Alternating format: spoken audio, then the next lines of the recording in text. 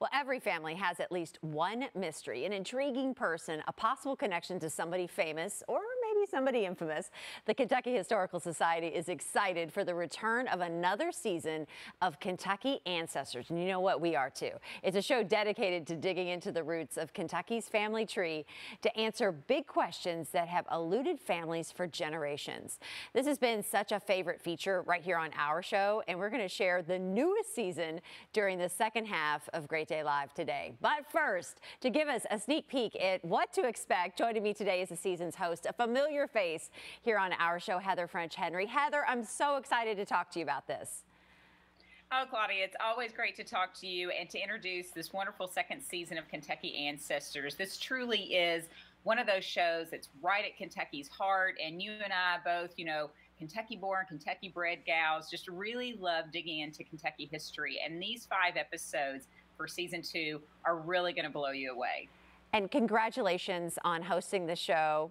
Uh, we loved watching the show this year. We're going to love it even more now that you're involved with it, right? But why, why was it important to you when this kind of crossed your desk? You thought, wait a minute, I really want to be a part of this program. Well, you and I get a chance to do some really interesting, have interesting opportunities come across our paths. And this particular opportunity allowed me to really dig into Kentucky history. I'm a lover of history, especially military history with my military and veteran background.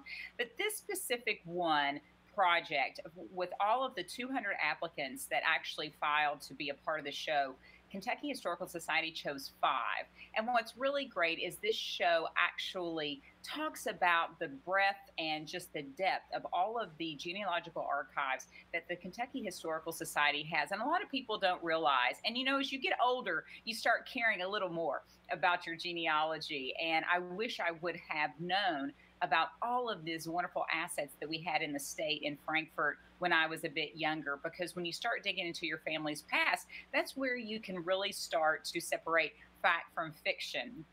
And I think that that's what's interesting in this whole investigative process, right? So KHS has all of these wonderful experts and they have wonderful archives. You'll see through this series that we dive into enslaved records, which are really hard because they were few and far between the KHS has done a great job of building such a wealth of information about enslaved families. And this one particular episode I'm talking about will also be pretty heartbreaking in some of the information they were able to find out.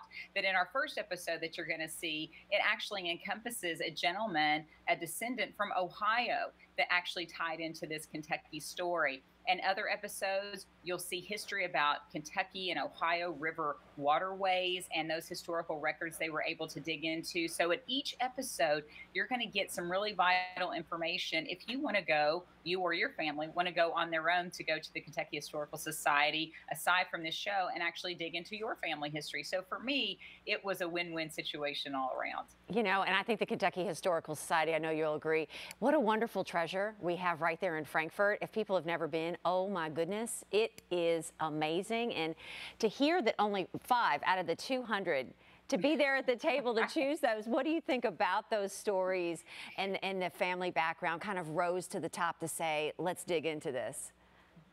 I think what's really great is that these five stories, um, as I stated, kind of pick on different sets of archives that the Kentucky Historical Society has, and it helps to highlight some of those unique abilities that KHS has. What's really fun is though, you know, you have those wow moments, right? When you're on set and you're filming these.